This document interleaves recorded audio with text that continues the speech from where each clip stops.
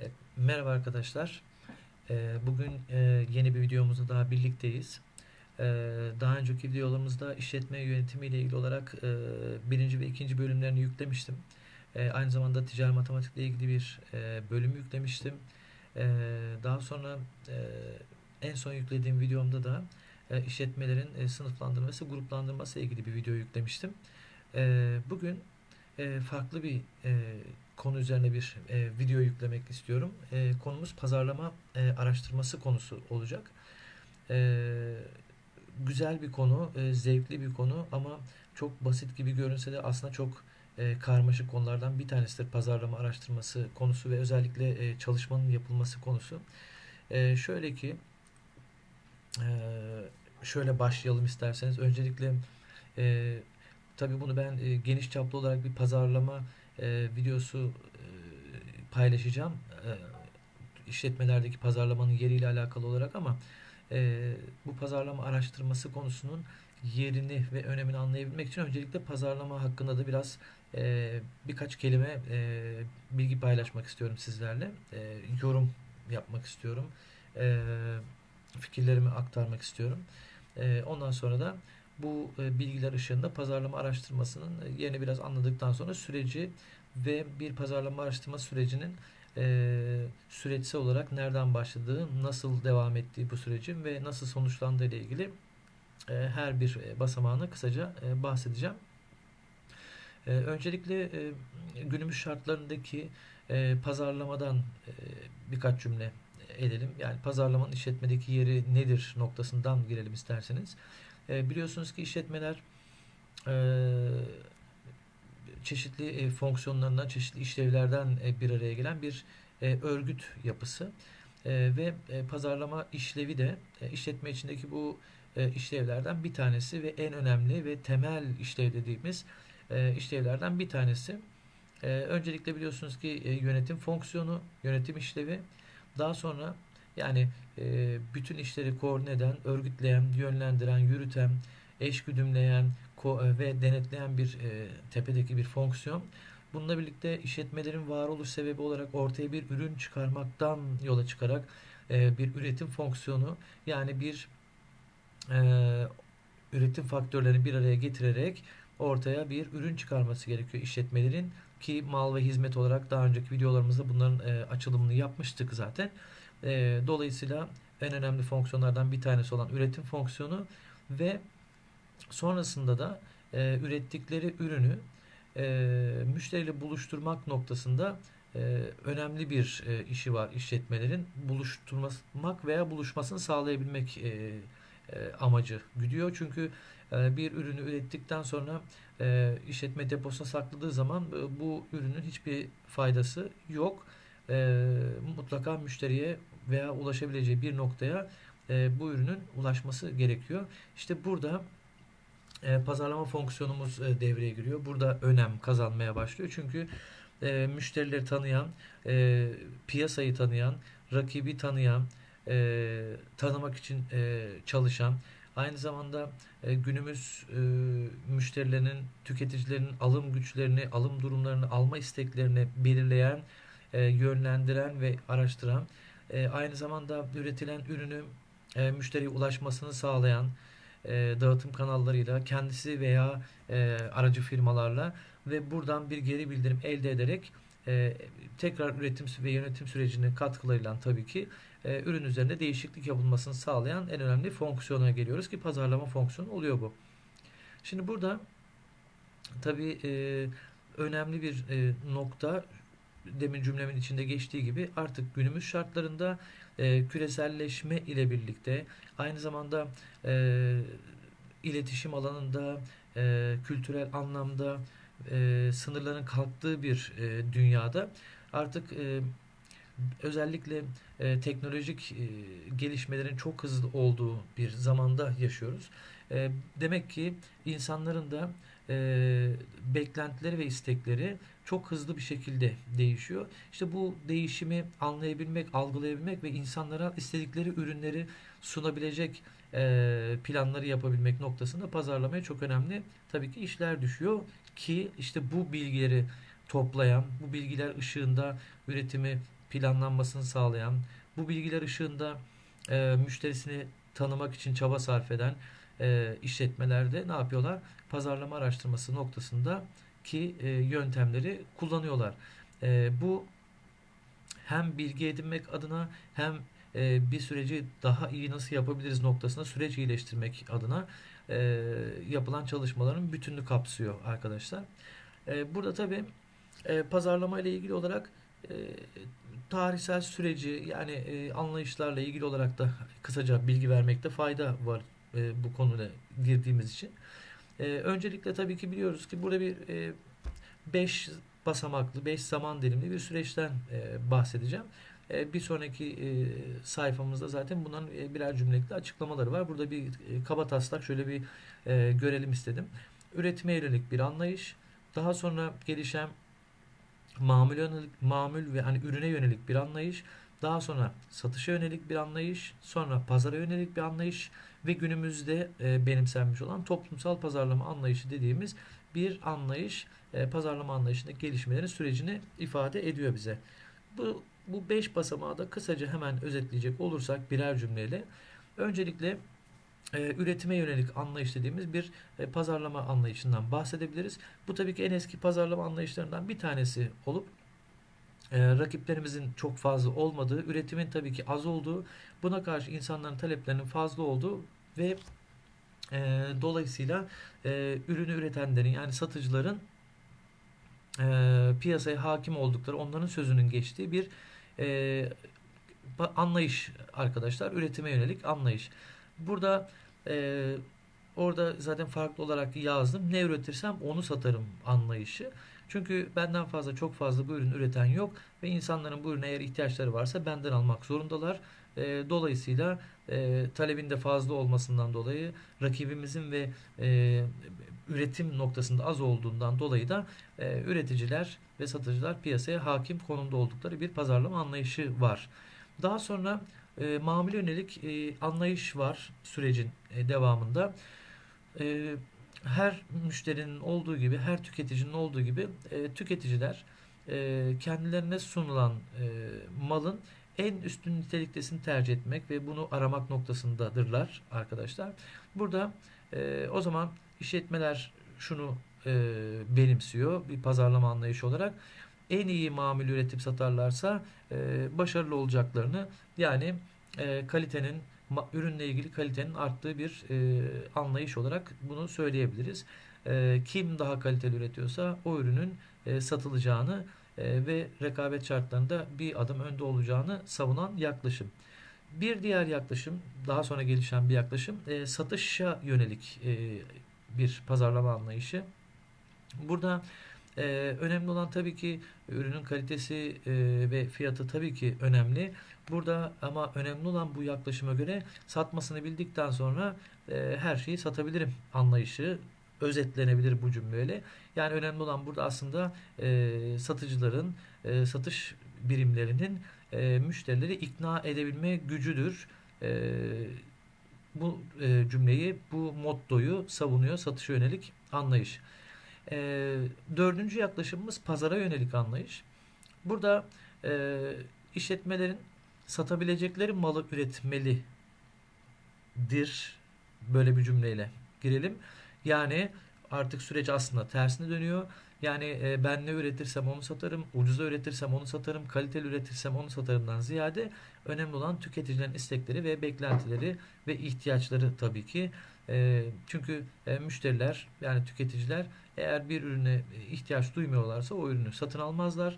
E, bu bir ürünü almakla ilgili istek duymuyorlarsa o ürünü almak için de çaba sarf etmeyeceklerdir. Yaklaşımı böylece e, önce biz üretmek ve kaliteyi fiyatı belirlemekten önceki aşamada biz e, müşterilerin beklentilerini, isteklerini, e, ihtiyaçlarını araştırmak, belirlemek ve bu ihtiyacı ve beklentiyi karşılayacak ürünü üretmek e, noktasında işte bu yaklaşım bunu savunuyor ve başarılı tabii ki bir yaklaşım.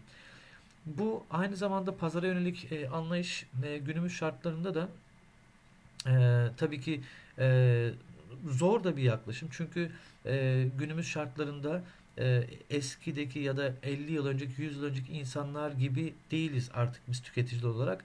E, çok fazla seçeneğimiz var.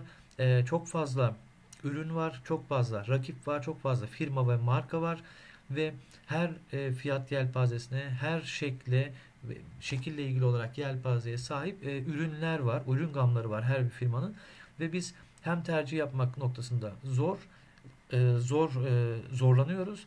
E, bir de bununla birlikte aynı zamanda şu da e, var. İnsanlar artık e, ne alacaklarını, hangi ürünü, hangi özelliklerde e, ne şekilde almaları gerektiğiyle ilgili bilgi sahibiler. Yani e, eskiden belki 20 yıl önce e, bir teknoloji mağazasına gittiğiniz zaman veya bir bilgisayar almak için işte bir mağazaya gittiğiniz zaman e, diyordunuz ki e, ben bir bilgisayar almak istiyorum. E, hangileri var? Satıcı size anlatıyordu ki şu var, şu var, şu var, şu var. Siz bunların içinden e, en iyisini sizin e, bütçenize en uygun olanı seçiyordunuz. Şimdi günümüzde bir teknoloji mağazasına giden bir e, arkadaş e, elinizde neler vardan ziyade ben diyor ki şu model, şu marka, şu özelliklerde ve şu iş için kullanacağım e, bir ürün alıyorum. Şu marka, şu model e, bilgisayarınız var mı elinizde şeklinde ne alacağını, ne almak istediği noktasında bilgi sahibi olarak ve e, tabii ki e, kendi istek ve bu isteklerin tabii karşılanmasını istediği için siz de firma olarak bu istekleri karşılamak noktasında tabii ki ne yapmış oluyorsunuz? Zorlanmış oluyorsunuz. Çünkü e, herkesin artık farklı beklentisi, farklı ihtiyaçları ve farklı istekleri var. E, kimisi fiyata önem veriyor, kimisi kalite, kimisi mesleki açıdan düşündüğü için e, diyor ki işte ben grafiklerim çok hızlı olması gerekiyor. Kimisi diyor ki ben e, sabahtan akşama kadar oyun oynuyorum. E, bir ekran kartının çok iyi olması gerekiyor. E, kimisi diyor ki işte şu özellik, kimisi diyor ki bu özellik ve insanları artık tatmin etmek noktasında işletmeler ne yapmaya başlıyor arkadaşlar? Zorlanmaya başlıyor. İşte bu sebepten dolayı biraz da tabii ki zor bir e, zaman dilimi pazarlama açısından işletmeler açısından aynı zamanda zor bir dilim e, aynı zamanda zor bir yaklaşım tabii pazara yönelik anlayış. Çünkü her bir müşterinin istek ve ihtiyaçlarını e, özel veya genel olarak e, gruplandırarak öğrenmek durumundasınız. İşte bu noktada da zaten pazarlama araştırması ilgili olan konunun da önemi yavaş yavaş ortaya çıkmış oluyor. Beşinci basamağımız e, toplumsal pazarlama anlayışı. Özellikle 1970'lerden sonra işletmeler bu yaklaşımı yavaş yavaş e, benimsemeye başlıyorlar ve artmaya başlıyor 70'lerden sonra. Çünkü e, burada e, firmalar müşterilerden e, beklentisi nedir? E, ürünümüzü alsınlar, satın alsınlar ve bunun karşına bir bize e, ürünün bedelini ödesinler.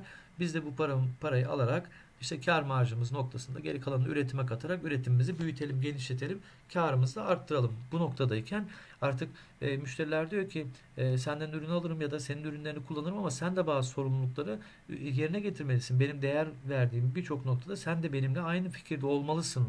Bunu söylemeye başlıyor artık müşteriler. Mesela nedir? Ee, yeşil pazarlama. Ee, günümüzde çok güncel rağbet gören bir pazarlama stratejisidir. Green marketing olarak geçer. Ee, işte doğaya saygı gösteren, e, işte ağaçları daha az kesen, suları daha az kirleten, e, yani doğa olarak e, daha az tahrip eden yöntemler. Bunu ön plana çıkarmak tabii ki. Yani diyor ki işte biz bir çamaşır makinesi üretiyoruz ama işte daha az su tüketiyor.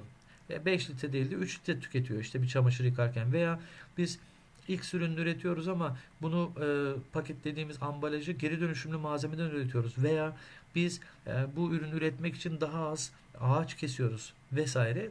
Bunlar artık günümüzde çok önemli. Çünkü bir noktada şöyle düşünmekte fayda var. Demin e, yaklaşımlar anlatırken şundan bahsetmiş. Artık iletişim, teknoloji o kadar hızlı gelişiyor ve herkes artık son teknoloji üretimlere geçiyor ki artık bizim e, işletme tarafından düşünecek olursak müşterileri ikna edebilmek noktasında artık fiyatlar ve kar marjları birbirine çok yakın, kaliteler birbirine çok yakın. O zaman onların değer yargıları üzerinden stratejiler kurmak çok daha e, başarılı olacaktır ki müşteriler zaten artık bunu bekliyorlar. İşte diyorlar ki mesela reklamların içinde şunları görüyoruz. İşte diyor ki bizim mağazamızdan ya da bizim ürünümüzü kullandığınız her kullandığınız ürün için sizin için bir ağaç dikeceğiz adınıza. Mesela işte e, işte iki tane bizden bir ürün alırsanız bir tanesinde e, sokakta yaşayan insanlar için biz bağışlayacağız. Veya bizden bir mobilya alırsanız her aldığınız mobilya için sokak hayvanları için bir kulübe yaptıracağız gibi. Bunlar hep e, toplumun değer yargılarını e, etkileyen, onların değerlerinin e, içine alındığı pazarlama stratejileri. Şimdi bu noktada işte yavaş yavaş pazarlama araştırması konusuna da girmemiz gerekiyor. E, bu süreci birazcık aklımıza e, soktuktan sonra, aklımızda e, bazı şeyler oluşturduktan sonra nedir? Bizim için müşteriler önemli tabii ki. Bizim için müşterilerin düşünceleri ve değer yargıları ve istek ve beklentileri de önemli ve bunları öğrenmemiz gerekiyor. Aynı zamanda karşılaştığımız sorunlarla ilgili de o sorunların çözümü noktasında yol haritaları e, üretmemiz gerekiyor. E, önemli bir pazarlama işi olarak. İşte bu noktada da pazarlama araştırması konusu arkadaşlar başlıyor. Şöyle ki e, şu şekilde başlayalım isterseniz pazarlama araştırması konusuna. E, burada arkadaşlar e, bir karar verici var ve bu karar vericiye pazarlama ile ilgili olarak e, şimdi pazarlama araştırması dediğimizden kastımız aslında bu bir araştırma ama pazarlama için yaptığımız araştırmalar pazarlama araştırması olacaktır. Finansla ilgili finansal araştırma olacaktır. E, sonuçta bir araştırma yapıyoruz ve bu araştırmanın neyi var arkadaşlar? Bir süreci var tabii ki.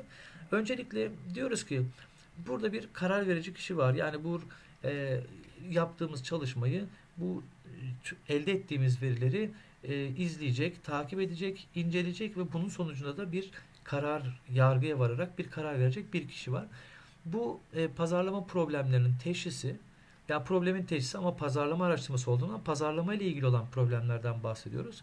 Ve çözümüyle ilgili olarak e, karar verici kişiye yardımcı olmak amacıyla objektif olması çok önemli tırnak içinde söyleyelim ve sistematik belirli sistemler dahilinde toplanması, analiz edilmesi ve yorumlanması aşaması arkadaşlar pazarlama araştırması olarak e, adlandırılıyor. Böylece tabii ki daha gerçekçi ve daha doğru sonuçlar elde etmek mümkün bu çalışmayla. Burada tabii ki pazarlama bilgi sistemi dediğimiz bir sistemden bahsetmemizde tabii ki faydalı olacak. Burada e, önemli olan kararları doğru ve sağlıklı bir şekilde verebilmek. Burada bir amacımız amaç e, koyuyoruz.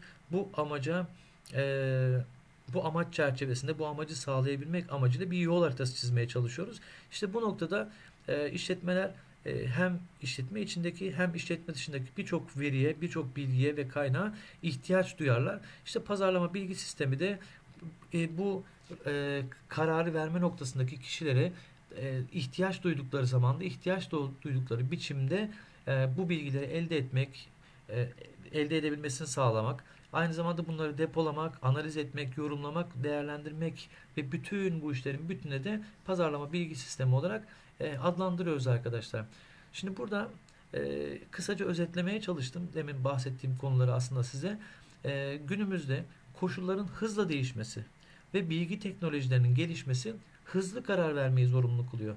Çünkü artık e, devir teknoloji ve iletişim çağı ve hızlı bir değişim olduğu için kararlarında hızlı bir şekilde verilmesi gerekiyor. Ama hızlı bir karar verebilmek noktasında öncelikle tabii ki elimizde ne gerekiyor arkadaşlar? E, bilginin ve verinin olması gerekiyor. Yani e, önceden toplanmış veya hızlı bir şekilde toplanabilecek bir verinin olması gerekiyor ki çünkü gelecekle ilgili yapılacak planlamalar arkadaşlar planlama noktasına geldiğimiz zaman öncelikle bizim elimizde verinin olması ve bu verinin analiz edilmesi gerekiyor ki üzerine bir şey koymamız gerekiyor. Yani planlama şöyle bir şey aslında. Ee, bir araba almak istiyorsunuz. Diyelim ki e, kaç liralık bir araba almayı düşüneceksiniz? İşte bu sorunun cevabını verebilmek için öncelikle sizin şu birkaç tane soruya cevap vermeniz gerekiyor. Kaç liralık araba almak istiyorsunuz? Çünkü 100 bin liraya da araba var. 1 milyon TL'ye de araba var. 250 bin liraya da var. 50 bin liraya da var. Hangisini seçeceksiniz? Sorular basit aslında. İşte bu al, almak noktası bir plan. Ama öncelikle analiz noktamız var. Yani bizim elde verimizi toplamamız gerekiyor. Bir, e, öncelikle cebimizde kaç liramız var? İki, eksik kalan tarafla ilgili olarak nereden bir kaynak bulabiliriz? Üç, bulduğumuz bu kaynağı ödeyebileceğimiz e, üst sınır nedir?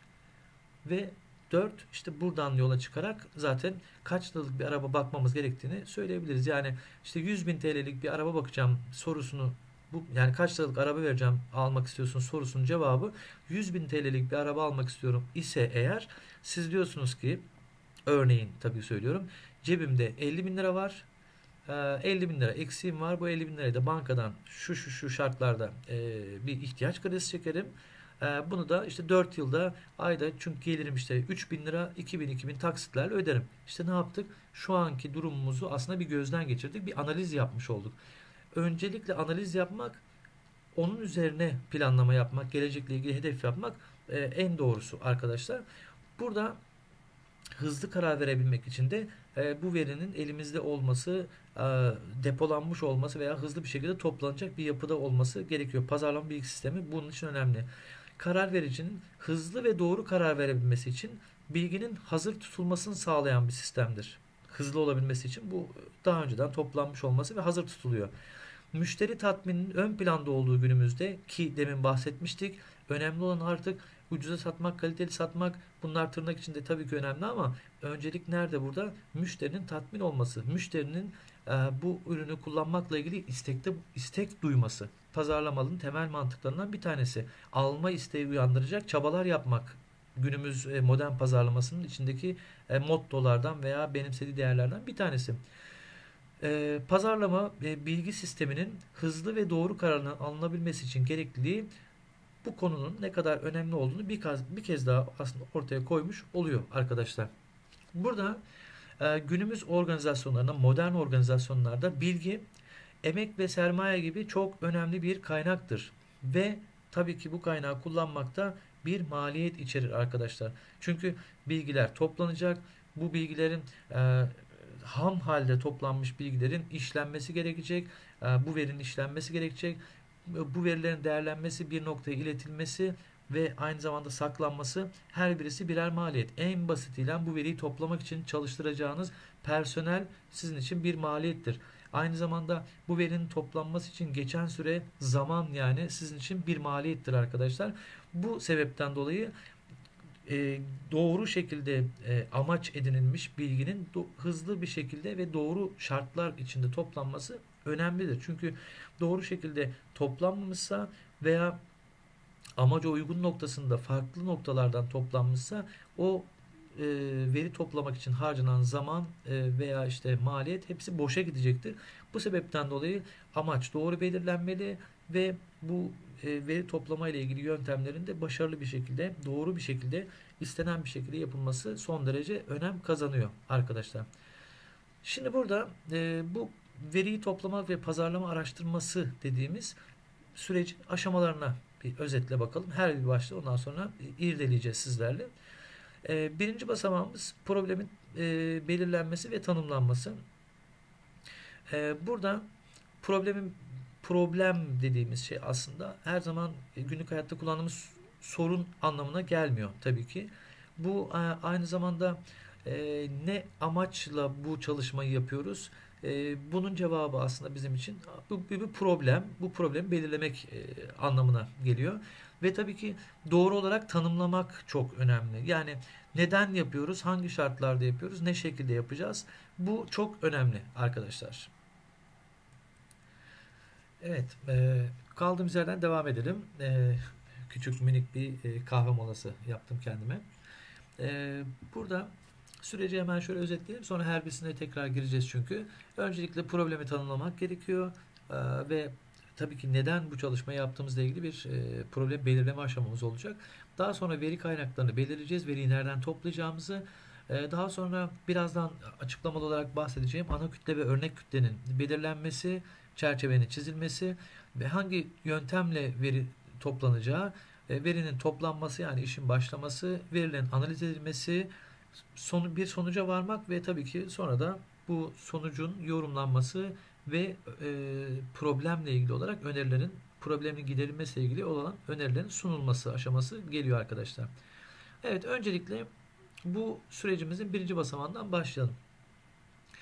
Ee, bizim için arkadaşlar e, problem belirlenmesi önemli bir aşama. Çünkü e, bundan sonra yapacağımız çalışmanın ne amaçla yapıldığı, ne hangi e, sebeple bu çalışmanın e, başlandığı, e, amacımızın ne olduğu, hangi sebepten dolayı bu çalışmayı yaptığımız noktasında çıkış noktamız bizim e, problemin belirlenmesi aşaması. Burada e, özellikle doğru bir şekilde sorunu ortaya koymak veya sorunları ortaya koymak tabii ki önemli. Burada e, gerçek problem dediğimiz problem belirlenmesi önemli. Mesela burada bir örnek yazdığım gibi satışların düşmesi evet bir e, problemdir ve e, neden satışlar düşmüştürle ilgili tabii ki bir pazar araştırması çalışması yapılması gerekir. Ama satışların e, bir plan yaptınız daha önce ve planlandığı gibi çıkmaması neden çıkmadığı noktasında asıl sorunumuz bu değil. Aslında gerçekte olan bir sorunun e, bir yansıması olarak ortaya çıkacaktır. Yani burada önemli olan doğru problemi bulabilmek ve çözümle ilgili olarak sürecin başlaması. Burada e, özellikle bu çalışmadaki problemin ne olduğu doğru şekilde belirlenmeli ve e, doğru bir şekilde tanımlanmalıdır arkadaşlar. Yani bu çalışmanın çerçevesinin çizilmesi önemli. Demin de bahsettiğimiz gibi burada problem dediğimiz şey e, günlük hayatta kullandığımız sorun ve sıkıntı direkt bu anlamda düşünmeyelim.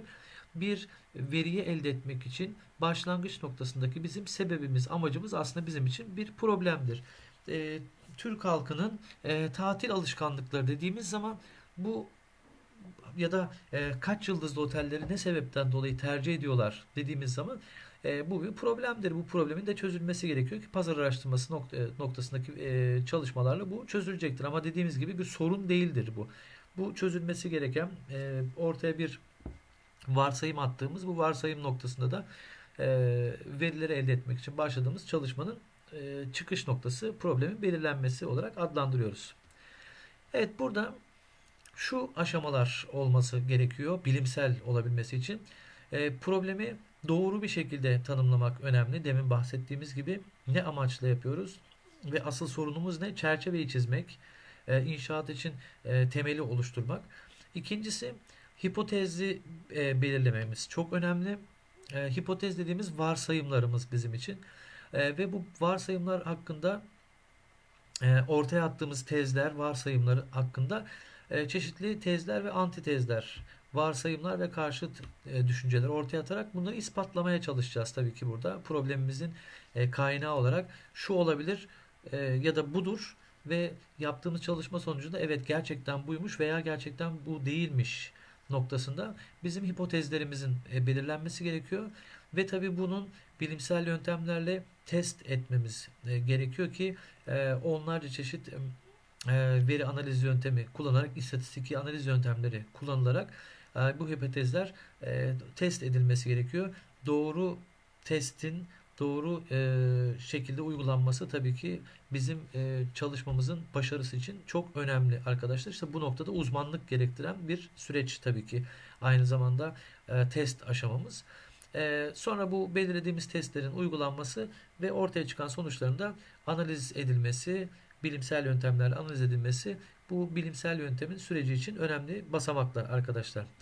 Şimdi e, problemi belirledik. Bir sebep bulduk, e, bir sorun bulduk veya bir araştırmak istediğimiz konuyu bulduk. Bununla ilgili öncelikle e, demiştik ikinci basamakta veri kaynaklarının belirlenmesi. İki grup altında bir, bu veri kaynaklarının toplama yöntemlerini e, gruplandırabiliriz. Birincil ve ikincil kaynaklar olarak. Burada birincil kaynaklar dediğimiz arkadaşlar bizim doğrudan giderek başvurduğumuz ve topladığımız veri arkadaşlar birincil kaynaklar oluşturuyor. E, ikincil kaynaklar dediğimizse bizim amacımıza uygun ama geçmişte toplanmış, hazır halde elde edilmiş ve işletme dışındaki kuruluşlardan elde ettiğimiz bütün verilerde, bütün kaynaklardan elde ettiğimiz verilerde ikincil kaynaklar olarak adlandırıyoruz. Ee, hani şöyle bir e, örnek verecek olursak işte e, Türkiye Türk halkının e, tatil alışkanlıklarını ölçeceğiz diyelim ki. E, eğer biz sokağa çıkıp e, binlerce milyonlarca insanla e, anket yaparak veriyi topluyorsak eğer bu birinci kaynaktır tabii ki. Ama e, hani hangi bölgeleri tercih ediyorlar et, vesaire vesaire şeklinde bu problemin karşılığında işte burada gördüğünüz gibi Devlet İstatistik Enstitüsü olabilir, Turizm Bakanlığı, TÜRSAP olabilir. Her sene çıkan raporlarından Türk halkının e, şu an tabii 2020 yılı için böyle bir e, veriye ulaşamayacağız ama 2019 yılında halkın e, büyük bir kesimi hangi bölgelere gitmiş, e, hangi gruplar halinde işte gitmiş, ailesiyle gitmiş, arkadaşıyla gitmiş, kaç gün kalmış, hangi 5 yıldızlı tercih etmiş vesaire vesaire ne yapabiliyoruz? Bütün veriyi gerekli internet sitelerinden, gerekli kaynaklardan temin edebiliyoruz. Bunun için gidip bizim bu çalışmayı yapmamıza gerekiyor ki yapamayız şu anda. E, ama yapılmış bu veriyi kullanarak e, biz çeşitli varsayımlar ve hipotezler ortaya atabiliyorsak bunlar da e, ikinci kaynaklar olarak adlandırılıyor. Ağırlıklı olarak e, şunu düşünebiliriz. E, Balıkesir halkının veya İstanbul halkının e, ilk ürün hakkında düşünceleri dediğimiz zaman öncelikle bu çalışma için bizim neye ihtiyacımız var? Balıkesir halkının veya İstanbul halkının nüfus bilgileri, demografik özellikleri, cinsiyet özellikleri, e, gelir durumları, mesleksel durumlara ihtiyacımız var. Bunun için bütün İstanbul'daki işte 15 milyon, 20 milyon kişiyi veya Balıkesir'deki 1 milyon kişiyi tek tek dolaşarak bu bilgileri toplamamıza gerek yok. Zaten e, İstatistik Enstitüsü'nün e, TÜİK'in sayfalarına mesela örneğin girdiğiniz zaman şehir bazlı e, her türlü demografik bilgiye zaten ulaşabiliriz. Buradan bu veriyi aldığımız zaman bu ikinci kaynak e, olarak adlandırılıyor. Ama biz sokağa çıkıp insanlarla tek tek bu veriyi anket veya deney veya gözlem yöntemiyle e, topladığımız zaman bu da birinci kaynaklar olarak adlandırılıyor arkadaşlar. İki çeşit veri kaynağımız var. Şimdi burada önemli bir noktaya geldik. E, ana kütle ve örnek kütlemiz arkadaşlar. Burası önemli çünkü e, burada e, ana kütlemiz bizim e, çalışmamıza çalışmamızdaki bu problem noktasındaki çerçevenin e, sınırını gösteriyor ve tam sayım olarak e, adlandırabiliriz. E, yani ana kütleyi e, ama çoğunlukla arkadaşlar e, ana kütlenin sayısına yani tam sayıya ulaşmak e, zor. Çoğunlukla bazı zamanlarda imkansız da olabilir.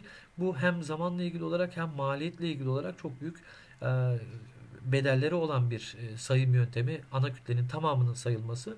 E, bu sebeple bizim amacımız ana kütleyi temsil eden daha küçük bir e, sayı temsil etmesi gereken bir sayı var. İşte bu sayıya da biz örnek kütle olarak adlandırıyoruz. Burada e, ana kütleyi belirlemek evet ama ana kütleyi temsil eden örnek kütleyi belirlemek de çok önemli. E, bizim e, çalışmamızın güvenilirliği açısından çok önemli. Demin bahsettiğimiz konuya geri dönecek olursak hani e, Türk halkının tatil alışkanlıkları dedik veya 2020 yılında e, Türk halkı e, nerelerde tatil yapacak düşüncesi nedir? Ee, özellikle bu salgın durumunda e, otellere mi gidecek, kendi evine mi gidecek, gitmeyecek mi, gitmemeyi mi tercih edecek? Bununla ilgili bir çalışma yapmak istiyoruz diyelim ki. Bu bizim için bakın bu e, konuştuğumuz şey, bu son kurduğumuz cümle bizim için bir problem. Türk halkının e, Covid-19 salgını noktasında bu süreçte bu yazın tatilini e, nasıl geçirecekle ilgili bir araştırma yapmak istiyoruz. İşte bizim şu anda ortaya attığımız problem bu. Çözmek istediğimiz problem bu. Bununla ilgili birincil ve ikincil kaynaklardan veri toplayacağız. Yani Türk halkının e, toplamda nüfusu, şimdiye kadarki tatil alışkanlıkları, e, yaş durumu, gelir durumu bunlarla ilgili veriyi ne yapacağız? İkincil kaynaklardan yani istatistik enstitüsü sayfası e, birçok veri toplayabileceğimiz yerden biz e, bu veriyi toplayabiliriz. İkincil kaynaklardan.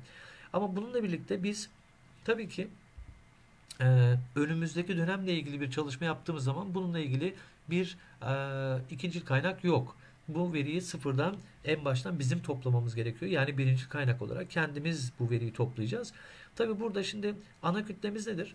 Türk halkının e, 2020 yılını baz alarak, bu salgını baz alarak tatil alışkanlıklarındaki değişmeyi ölçeceğiz. Ana kütlemiz nedir bizim için? Türk halkıdır. Yani 82 milyon kişi bizim için ana kütleyi oluşturuyor. İstenen ne? Veya en güvenilir yöntemimiz ne bizim için? Bu 82 milyon kişinin 82 milyonuyla da tek tek anket yaparsanız %100 güvenilir, %100 başarılı bir veriyi toplama e, e, çalışması yapmış olursunuz. Veriyi toplarsınız. Ama bu hem mümkün değil hem maliyet olarak hem zaman olarak tabii ki mümkün değil. O zaman ne yapacaksınız? Bunu temsil eden daha küçük bir alt grup. Yani buna da biz örnek kütle veya örneklem olarak adlandırıyoruz. E, buradan veriyi toplayacağız. Ama önemli olan tekrar altını çizerek söylüyorum. Ana kütleyi temsil eden daha küçük bir gruba ulaşmamız gerekiyor. Örneğin Türk halkının tatil alışkanlığı bu salgın dönemindeki alışkanlıklarında değişmeler dedik. Diyelim ki konumuz bu olsun. E, elinize anket formlarını alarak işte Ankara'ya gidip Ankara'da e, 100 bin kişiyle bu anketi yaparsanız e, bu topladığınız veri ana kütleyi temsil etmez. Çünkü İstanbul'daki halkın tatil alışkanlığı farklı olacaktır. Veya işte atıyorum e, Trabzon'daki farklı olacaktır. Balıkesir'deki farklı olacak. Antalya'dakinin düşüncesi daha farklı olacaktır. Her bölgeden, her şehirden belki e, verinin toplanması gerekiyor. Ama bu toplanırken de aynı zamanda şuna da dikkat etmek gerekiyor. İşte bütün şehirlere gidelim ama ne yapalım? İşte liselere gidelim, lisedeki öğrencilerle yapalım. Bu sefer gene ana kütleyi temsil etmez örnek kütle. Çünkü e, Türk halkının içinde nüfus bilgisi içinde lise mezunu, üniversitede okuyan, üniversite öğrencisi, üniversite mezunu, avukat, doktor, hemşire, işte atıyorum emekli, yaşı 60 yaşında olan ve birçok büyük bir yelpaze grubu olduğu için her gruptan aslında insanın e, fikirlerini alabileceğimiz bir veriye ulaşmamız gerekiyor. E, eğer ki e, örnek kütlenin ana kütleyi temsil etmesini istiyorsak. Örneğin e, üniversite öğrencilerinin Balıkesir'de okuyan üniversite öğrencilerinin işte tüketim alışkanlıklarını ölçmek istiyorsunuz. Bir ürün piyasaya sunacaksınız.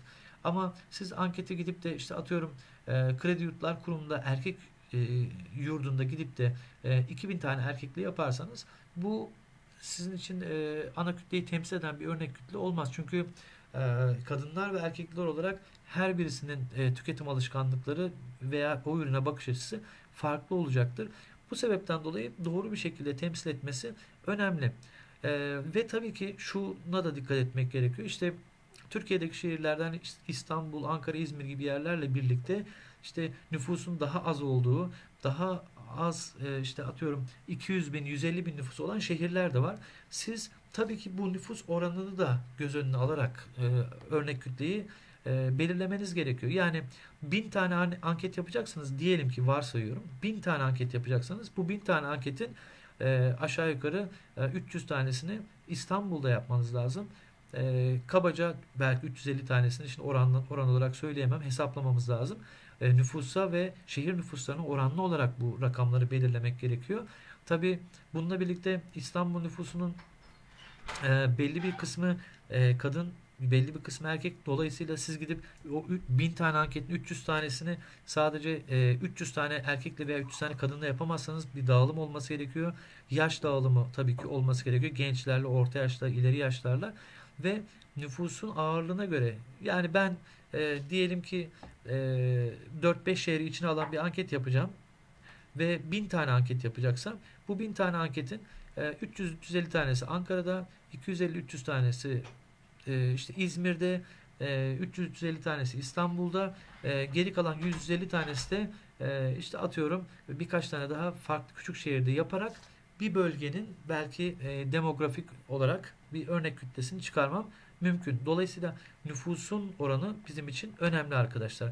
Şimdi burada zaten demografik dediğimiz şey de şöyle söyleyelim. Nüfus bilimi anlamına geliyor. Nüfusun yapısı anlamına geliyor.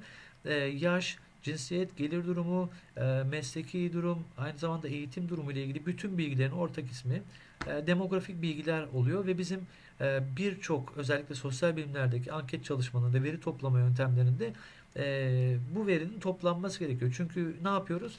Elde ettiğimiz veriyi demografik özelliklerle elde ettiğimiz veri arasındaki ilişkileri kurmaya çalışıyoruz. O sebepten dolayı da e, belli e, örnek kütleleri toparlayabilmek önemli. E, ana kütleyi temsil etmesi açısından demografiye dikkat etmek önemli arkadaşlar. Şöyle düşünelim. Bu çalışmamız demin dediğimiz gibi zaman ve maliyet alan bir çalışma. Bu zaman ve maliyetin boşa harcanmasına sebep olur. Çünkü anketinizi yaptınız, işte veriyi topladınız, anketörleriniz gezdi, yüz yüze görüşmeler yaptınız, belki aylarınızı harcadınız, binlerce TL para harcadınız ve sonrasında dediniz ki bu örnek kütle ana kütleyi temsil etmiyormuş veya işte e, soruların hazırlanması aşaması sorular yanlışmış veya sorularda yanlışlık varmış. Yapılan bütün bir çalışma ne yapacaktır? Boşa gidecektir. Boşuna harcanan bir maliyet olarak karşımıza çıkacak. Onun için ana kütleyi belirlemek evet ama bununla birlikte çok önemli bir nokta örnek kütle. Yani veriyi hangi küçük gruptan toplayacağız ve bu grup öyle bir grup olmalı ki ana kütlenin daha küçük çaplı bir projeksiyonu olmalı bizim için. Ana kütleyi temsil eden daha küçük bir grup olmalı. Bunu belirleyebilmek çok önemli arkadaşlar. Şimdi burada e, hani demiştik ki şurada hemen iki arkada birincil kaynaklar. Yani bizim e, başvurduğumuz, doğrudan başvurduğumuz, kendi yaptığımız e, çalışmalar, veriyi topladığımız çalışmalar. Hangi yöntemler var bu veriyi toplamakla ilgili? Birincisi e, anket yöntemi var. Bu en sık gördüğümüz, en çok karşılaştığınız, birçoğunuzun belki birçok kez yaptığı bir e, veri toplama yöntemi. Burada e, demografik özellikleri fikirleri, fikirlere ulaşmak noktasında e, olumlu bir yöntem. Bu e, tabii ki kişisel görüşme yöntemi ağırlıklı yapılsa da telefonla, mail yoluyla, e, mektup yoluyla bu tarz yöntemlerle de yapılabilen bir veri toplama yöntemi. Ve tabii ki buradaki çok önemli bir e, konu şurasıdır ki anket formunun amaca yönelik olarak hazırlanması, soruların ona göre hazırlanması çok çok çok çok önemli. Aynı zamanda e, anket formu e, konusuna hani girecek olursak bir noktada soruların çok uzun olmaması, çok kısa olmaması, açık e, bırakılmaması yani hani e, yaşınız dedik soru olarak. E, A şıkkında dedik ki 18 ve 6. B şıkkı dedik ki işte 20 ve 22. C şıkkı 23, 25 bu şekilde gidiyor. E, dikkat ettiyseniz anketi birisine sorduğunuz zaman bu da size ben 19 yaşındayım diye cevap verdiğiniz zaman işaretleyecek yeriniz yok. Çünkü 18 6 20 ve 22 şeklinde gidiyor. Arada bir boşluk var. Bu tip boşlukların olmaması veya yaşınız noktasına geldiği zaman yaşınız A şıkkı 18-20, B 20-22 şeklinde dizerseniz yanlış olacaktır. Çünkü hem A şıkkında hem B şıkkında 20 var. 20 yaşındayım dediği zaman A'ya mı B'ye mi işaretlemeniz gerekiyor? Bu, bu tip küçük e, ayrıntılar anketin güvenilirliğini ve elde ettiğimiz verinin e, sağlıklı veri olarak e, sayılmasını engelleyecektir ve boşa e, bir çalışma yürütmüş olacaksınız. E, soruların e, amaca uygun hazırlanması, doğru şekilde sorulması e, ve basit ve karşı tarafın anlayabileceği bir dille sorulması tabii ki önemli. Burada tabii ki e, anket yöntemi en çok kullanılan e, yöntemlerden bir tanesi daha önceden hazırlanmış hazır bir şablonumuz var. Karşı taraftaki anketi cevaplayacak kişiye ne yapıyorsunuz bu soruyu? Soruyorsunuz cevaplarını. işaretliyorsunuz veya işaretletiyorsunuz ve veriyi bu şekilde toplamış oluyorsunuz. İkinci yöntemimiz gözlem. Burada e, seçtiğimiz örneklemle ilgili olarak bu örnekleme müdahalede bulunmuyoruz. Sadece e, gözlemliyoruz adı üzerinde. Gözlemlediğimiz e, elde ettiğimiz gözlem yoluyla elde ettiğimiz verileri de e, toparlıyoruz. Veriyi toplamış oluyoruz böylece. Ve e, fiziki olarak bir müdahale etmeden e, tespit ettiğimiz bütün bilgileri e, toplayarak bir e, veri elde etmiş oluyoruz gözlem yönteminde. E, bu tabii ki burada da söylediğimiz gibi özellikle fikirler noktasında e, bazı demografik e, noktalarda e, doğru veriye ulaşmak gözlem yolunda çok e, başarılı olmayacaktır. E, onun için ağırlıklı olarak anket yöntemini uyguluyoruz. Ama mesela şunu yapabiliriz. İşte manyas kuş cennetindeki kuşların göç yolları ve zamanlarını ölçmek istediğiniz zaman tabii ki anket yöntemini kullanamazsınız. Yani bir kuşu durdurup da e, nereden nereye göç ediyorsun, hangi gün göç ediyorsun, kaçta uçuyorsun, ne kadar mola veriyorsun bunu soramayacağınız için ne yapacaksınız? Fiziki müdahalede bulunmadan e, not ederek bunun ortalamaları alınarak zaman içinde e, bu gözlemden bir veriyi elde etmek mümkün. Bir diğer yöntemimiz e, deney yöntemi. Bu da neden sonuç ilişkisine dayanan bir yöntem arkadaşlar ve e, farklı değişkenlerin e, birbirine bağımlı ve bağımsız değişkenlerin e, birbirini ne ölçüde etkilediğini ölçmeye dayanan yöntemler tabii ki. İşte bir otomobil üreticisi firma ne yapıyor? Airbag'lerinin veya işte işte kazada emniyet kemerini ölçebilmek için arabasını prototip arabayı veya işte onun için özel üretilmiş arabayı 100 kere ne yapıyor? Duvara vuruyor ve gözlemliyor. Aynı zamanda aynı zamanda da bir deney yapmış oluyor. Böyle çarptık. Bu çarpma hızının e, üstünde olduğu zaman işte atıyorum airbag'ler açıldı. Bunun altında, altında olduğu zaman açılmadı. Ne yapıyor? Deniyor. Bir neden var. Çarpma. Bunun sonucunda bir açılma var. İşte airbag'ler açıldı veya açılmadı. Ve bunu bir e, yüzlerce kere belki binlerce kere yaparak bir veriyi topluyor. Bu veriden yola çıkarak da bir yargıya varıyor. Bu da bir diğer veri toplama yöntemimiz. Bir diğer arkadaşlar projeksiyon yöntemi, yansıtma yöntemi.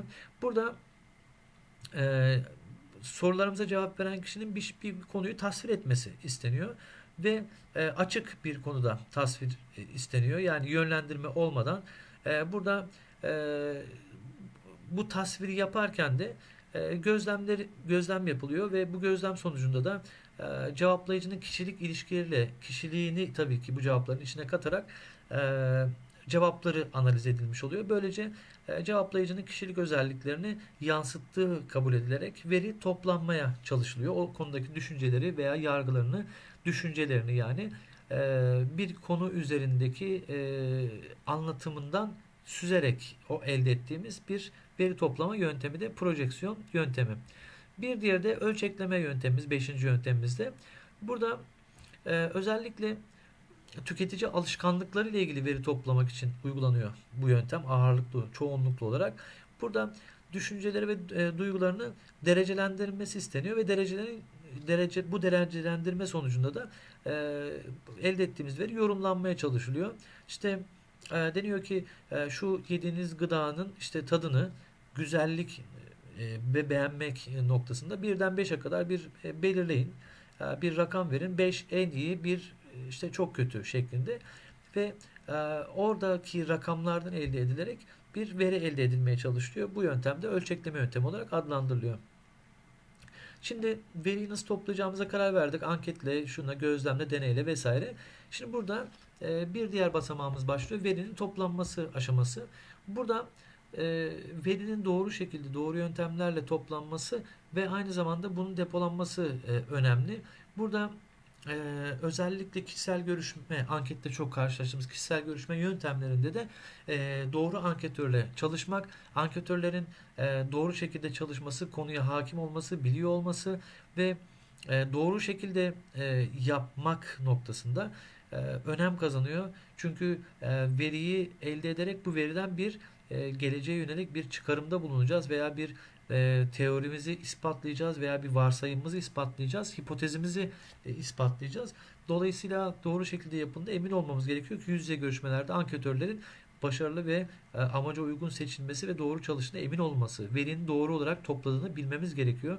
Mail yöntemiyle veya işte atıyorum telefon yöntemiyle olanlarda karşı taraftaki muhatabın e, gerçekten muhatabımız olup olmadığı ve gerçekten biz dinleyerek cevapların verip vermediği noktası önem kazanıyor. Burada e, elde ettiğimiz veriyi de ham veriyi de doğru bir şekilde ne yapmamız gerekiyor? Depolamamız gerekiyor. Çünkü e, elde ettiğimiz e, binlerce anketi o şekilde kullanmayacağız. E, zamanı geldiği zaman bunu analize geçireceğiz. Analiz aşamasına geçireceğiz. Burada bir depolama e, sürecimiz de oluyor arkadaşlar. Ve sonra e, tabii ki önemli bir aşama verilen analiz edilmesi, ham verinin analiz edilmesi. Burada öncelikle elde ettiğimiz verinin analize uygun bir e, hale dönüştürülmesi gerekiyor. Bu e, özellikle amacımız bizim e, problemin çözülmesi için gerekli olan veriyi elde edebilmek, doğru veriyi elde edebilmek ve sonrasında da bu veriyi kodlayarak istatistiki çeşitli analiz yöntemleriyle e, bu, bunların işleyebileceği şekilde hazırlamak ve analize soktuktan sonra da bunu sonuçlandırabilmek. Burada tabii ki e, buranın altını çizmekte önem var. Şu cümlenin arkadaşlar verilerin şuradan başlayan cümlemiz verilerin şurada da bir tane şu cümle altını çizmeyeyim dedim şimdi e, tam düz çizemeyebilirim belki verilere uygulanacak analiz tekniği verinin toplanmadan önce belirlenmiş olması gerekiyor. Yani hangi yöntemle veriyi toplayarak hangi analize sokacağımız daha önceden zaten belirlenmiş olması gerekiyor. Çünkü bu e, önceden belirlediğimiz yönteme göre anket sorularını ne yapacağız? Hazırlayacağız. Bu yönteme uygun mudur? Bu yöntem için veya e, avantajlı mıdır? Bu yöntem için daha hızlı bir sonuca ulaşabilir miyiz noktasında anket formunun ve soruların oluşturulması noktasında da hangi veriyle analiz edebileceğimizi de önceden belirlemiş olmamız gerekiyor. Burada e, doğru kaynakları kullanmak e, tabii ki en önemli demin söylediğimiz gibi süreç arkadaşlar bu. E, çünkü verinin doğru elde edilmesi bizim bundan sonraki yapacağımız işlemlerinde doğru sürmesini doğru işlemesini e, sağlayacaktır arkadaşlar. Evet burada e, son aşamalara gelecek olursak veriyi topladık. İstatistiki analiz programlarına bu veriyi işledik ve tabii ki bir sonuca vardık. Sonuçlar elde ettik. Raporlarımızı çıkardık. Tabi bu noktada e, elde ettiğimiz raporları karar vericiye sunmamız gerekiyor. Kim bu problemi ortaya çıkardı ve sonucu bekliyor. Burada e, önemli olan şey şu. Bu konuya, bu bilgiye ihtiyacı olan kişi yani karar verici kişinin e, her zaman istatistik analizden e, anlıyor anlayacağını beklemek mümkün değil tabii ki. Anlamıyor olabilir. Bu çünkü ayrı bir uzmanlık alanı istatistiki veri analizi yapmak. Onun anlayabileceği ölçüde raporlandırmak önemli. Çünkü anlayabilirse eğer bu konu üzerinde çalışarak hızlı bir şekilde karar verir ve doğru kararlar verebilir. Anlaması önemli. Burada özellikle arkadaşlar e, raporu netice, neticelendikten sonra araştırma raporunu e, süreci nasıl yürüttük, ne şekilde uyguladık, sonuçta nelere, hangi konulara vardık, hangi sonuçlara vardık ve e, başta şu şekilde bir problem belirlemiştik. Bunun noktasında da şöyle bir sonuca vararak böyle çeşitli çözüm önerileri sunmak bu raporda olması gerekiyor. Burada e, tabii ki çıkarımlar, karar ver, vericinin çıkarımlar yapabilmesi için de bu raporu anlayabilmesi gerekiyor. E, bunun için genellikle e, burada bahsettiğimiz gibi rapor anlaşılabilir bir dilde yazılmalı. Kim için? Karar vericiye sunacağımız raporun anlaşılabilir şekilde yazılması gerekiyor. Ve genel hatlarıyla bütün çalışmadan bahsetmesi, süreçten ve teknik bir dil kullanarak e, bu okuyucuyu sıkmayacak şekilde aktarılması gerekiyor. Teknik olanı arkasında gerekiyorsa iliştirirsiniz, arkasında sunarsınız ama baştaki raporda anlaşılabilir, basit e, ve karşı tarafın anlayabileceği bir dili kullanmak önemli. Burada e, bahsettiğimiz gibi e, bunu bu süreci atlatabilmenin önemli yöntemlerinden bir tanesi şu. Biri teknik olarak bir tanesi de özet olarak iki rapor hazırlamak önemli. Burada teknik raporda bütün araştırmada kullandığımız metotlar, varsayımlar, çalışmalar, çalışmalardan çıktığımız e, araştırmanın sonuçları, e, rakamsal sonuçlar hepsi burada yer alır. Yani analizlerin hepsi yer alır. Ama e, özette arkadaşlar e, burada e, bulgular ve çıkarımda olabildiğince basit bir şekilde anlatılarak karar vericinin anlaması sağlanacak iki şekilde rapor hazırlanması çok daha doğru olacaktır. Böylelikle arkadaşlar e, bunu sunarken de e, çeşitli sunum aletlerinden PowerPoint vesaire gibi sunumlardan kullanarak, grafikler kullanarak e, ve aynı zamanda e, bu bilgileri karşı tarafın anlayabileceği basitlikte görseller de destekleyerek anlatmak çok daha başarılı olacaktır. E, burada çünkü karar vericinin bu konuyu özellikle e, anlıyor olması çok önemli. Şimdi burada e, önemli bir e, sürecimiz var pazarlama araştırma sürecinde. Hemen şöyle bir toparlayacak olursak bu çok önemli bir konu. Bir problem belirleyeceğiz. Bir amaç belirleyeceğiz bu çalışmayı yapmakla ilgili. Bu amacı belirledikten sonra özellikle e, bu amaca nasıl ulaşabiliriz? Yani hangi kaynakları kullanarak elimizde veri var mıdır yok mudur? Bu kaynaktan e, bu kaynaklardan yola çıkarak verinin toplanması hangi yöntemlerle toplanacağı anket deney gözlem veya projeksiyon olarak e, ve bu tabii ki anket yöntemi seçilmesi, anket sorularının doğru olarak hazırlanması, amaca uygun olarak hazırlanması ve e, karşı tarafın anlayabileceği basitlikte hazırlanması çok önemli.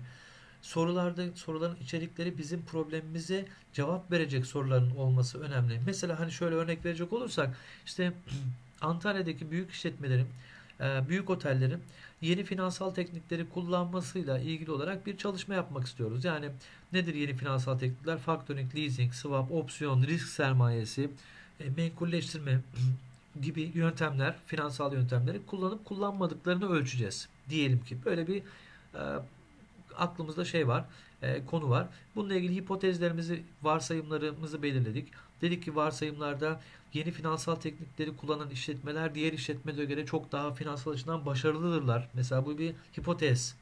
Bunun başarılı olup olmadığını ne yapacağız? Ölçeceğiz ve sonrasında sonuçta da diyeceğiz ki evet başarılıymış. Demek ki hipotezimiz, birinci hipotezimizi kabul ediyoruz. Birinci hipotezimiz doğruymuş, varsayımımız doğruymuş diyeceğiz. Hipotezlerimizi yazdık. Sonra anket formumuzu oluşturduk. Anket formunu oluştururken bizim muhatabımız şu noktada önemli.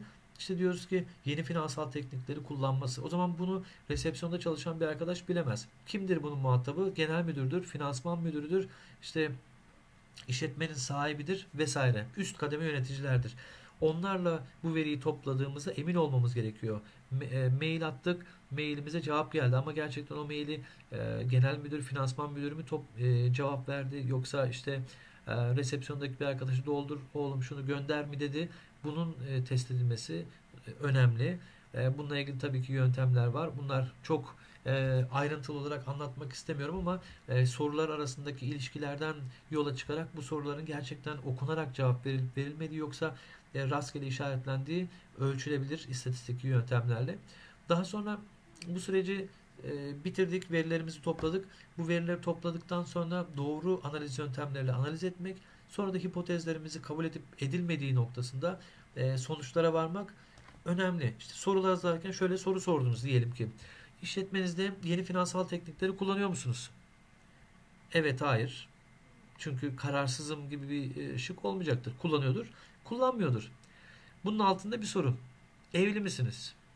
Şimdi bu sorunun karşılığını devam edebileceğimiz bir e, süreç yok. Yani şunu şu yoruma varamayız. Evli olan finansman müdürlerinin e, işlettiği ya da yönettiği finansal açıdan yönettiği işletmeler diğerlerine göre daha başarılı sonucuna varamayız. Finansmanını araştırırken.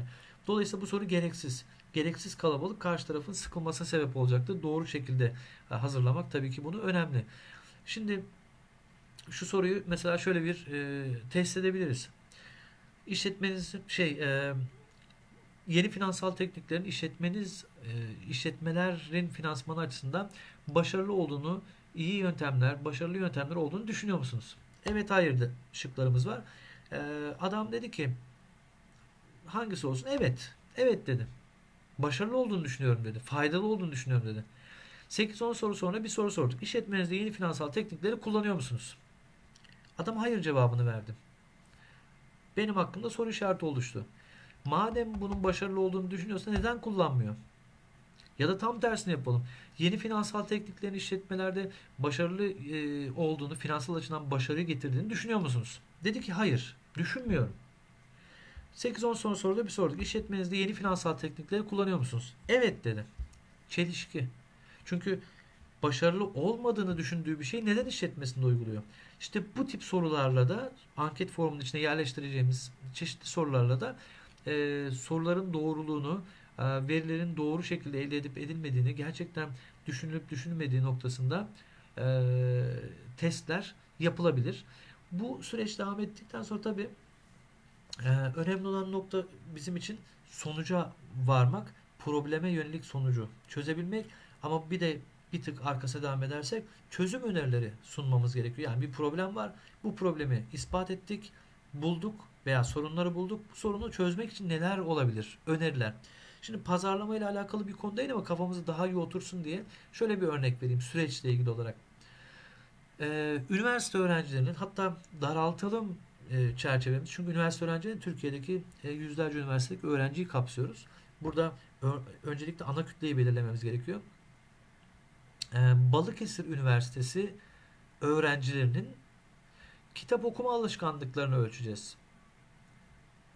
Problemimiz şöyle başlıyor. Balıkesir Üniversitesi öğrencilerinin kitap okumadığını düşünüyoruz ve kitap okuma oranlarını e, düşük olduğunu ispatlamaya çalışacağız. Problemimiz bu. Şimdi problemi belirledik. Peki ana kütlemiz ne kadar? Balıkesir Üniversitesi öğrencileri yani 35 bin kişi. Biz eğer 35 bin kişi yapabilirsek tam sayıma ulaşmış oluruz ki mümkün olmayacaktır. İlçeler var vesaire. Biri var, biri yok. Biri birinci öğretim, biri ikinci öğretim. Biri o fakültede, biri bu fakültede. Hepsini toplamamız çok uzun zaman alacaktır belki. Ne yapabiliriz? Her bir fakülteden yüzlerce kişi, her bir fakülteden 100 kişi, 150 kişi de anket yaparak 1000 kişiyle belki 1500 kişiyle bir anket yaparak bir örnek kütle yaratabiliriz. Ama her okuldan olacak. Birinci öğretimden olacak, ikinci öğretimden olacak, kadın olacak, erkek olacak. Her bölümden e, üçer beşer öğrenci olacak ki bizim için bir örnek kitle oluştursun. Tamam. Problemimiz neydi? Kitap okumuyorlar. Verimizi topladık. Sonuçta bu süreç gittiği zaman anketlerin sonuçlarında da zaten ne çıkacağını tahmin ediyorsunuz. Kitap okunmuyor çıkacak. Biz bunun öyle olduğunu düşünüyorduk zaten ve böyle olduğunu ispat ettik. Sonuçta okumadığını bulduk. Tamam sonuç bu. Bu sonuçlardan yola çıkarak yorumladık. Şu rakamdan dolayı şöyle şöyle şu sebepten dolayı okumuyorlar. Şöyle oluyor, böyle oluyor. Kütüphanenin uzak olduğunu düşünüyorlar. Bilmem ne düşünüyorlar vesaire çeşitli e, yorumlar yaptık. Elde ettiğimiz verilerden ışıkla. Tamam. Ama sonrasında ne önereceğiz? Yani okumuyor. Okumadığını da ispatladık ama okusun diye neler yapabiliriz? İşte kitap okuyana şöyle kampanyadır, şöyle yapana şudur vesaire çeşitli okuma günleri yaparak çeşitli bunu gündeme getirmek gibi belki çeşitli e, yöntemlerle ama bu sorunu çözmekle, bu problemi çözmekle ilgili de öneriler sunmamız gerekiyor. Süreç hep böyle gidiyor işte. Bu tabi verdiğim örnek pazarlama araştırması ile ilgili bir örnek değil ama bir araştırma örneği. Yani bir sorunu çözmek ve sonucunda bir sonuca ulaştırarak e, bir öneri sunabilmekle ilgili bir örnek olarak anlatmak istedim. Sonuçta günümüz şartlarında arkadaşlar tüketicilerin istekleri, beklentileri, tatmin düzeyleri e, hızlı değişme noktasındayken günümüz şartlarında özellikle 70'lerden sonra e, biz artık öncelikle bilgiye ve veriyi toplamak noktasında e, işletmeler önem kazan kazanıyor. Daha fazla önem veriyorlar veriye. Çünkü bu veriyi işleyerek tüketicileri daha iyi tanıyorlar. Tüketicilere daha fazla hizmet verebiliyorlar ve böylece rekabet şartlarında bir adım öne geçebiliyorlar. Müşterisini tanıyabiliyor veriyi toplayarak. Aynı zamanda üretim süreçleriyle ilgili olarak da üretimdeki ürünün kalitesi, şekli, e, fiyatı bunların hepsini şekillendirme noktasına geldiğim zaman öncelikle müşterinin istek ve beklentiler önemli. İşte burada veri çok önem kazanmaya başlıyor. Ve biz arkadaşlar bu süreçle amacımız rekabet şartlarında işletmemizin daha başarılı olabilmesi, pazara daha sıkı tutunabilmesi, e, daha fazla belki e, kar elde edebilmesi ama hepsini içine alacak bir e, cümle söyleyecek olursak müşterisini ve hedef kitlesini daha mutlu edecek bir çözüm bulabilmek. Pazarlama araştırmasının temel yapılma sebeplerinden bir tanesi budur arkadaşlar. Çünkü müşteri eğer sizin ürettiğiniz ürünleri kullanmakta memnunsa e, devam edecektir kullanmaya. Bu noktada e, işte bizim öncelikle onu memnun edecek şartları, koşulları, sebepleri araştırmamız ve buradan yola çıkarak üretimimizi şekillendirmemiz önem kazanıyor. Evet pazarlama araştırmasının sürecini e, kısaca bir özeti bu kadar arkadaşlar. Bu tabii ki genişletilebilir başlıklar genişletilebilir. Özellikle veri toplama, veri analizi yöntemlerinde onlarca yüzlerce belki yöntemden veya fikirden bahsedebiliriz. Ama temel şablonu, temel isketini bu 5-6 e, basamaktan oluştuğunu söylemek yanlış olmayacaktır arkadaşlar. Evet. E, diğer konularla ilgili olarak da e, diğer videoları izleyebilirsiniz, dinleyebilirsiniz. İşletme noktasında her konuyla ilgili olarak aşağı yukarı videolar yüklenmeye devam ediyor ve edecek tabii ki. Bir sonraki videoda bir başka konuda arkadaşlar buluşmak üzere. Hepinize sağlıklı günler diliyorum. Kendinize iyi bakın. Dikkat edin arkadaşlar kendinize.